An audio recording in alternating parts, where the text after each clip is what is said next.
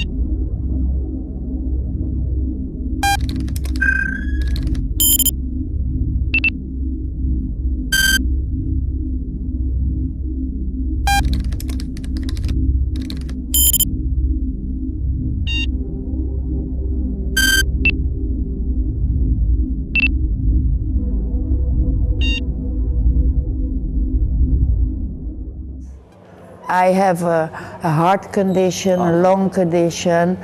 Uh, I, I am diabetes, and I have, I don't know how you call it in English, thrombose.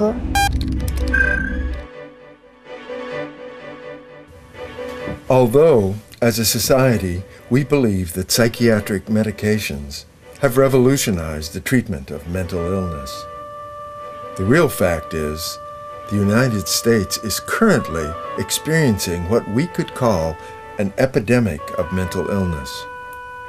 As it turns out, between 1987, with the introduction of the new generation of psych drugs, and 2007, the number of Americans disabled due to mental illness more than doubled. And this despite a whopping $40 billion annual expenditure on these new magic bullet psychopharmaceuticals. This epidemic has also profoundly affected our children. During this same period, the number of children who receive a federal payment because of severe mental illness has jumped from 16,000 to 561,000 a 35 fold increase. Despite these obvious failures of the current treatment paradigm, funding and research into alternative treatments and programs has been virtually non existent in America. This could be cause for more despair, but in fact, there are new experiments going on, which now are seeking to improve both the economics and the outcome in treating mental illness.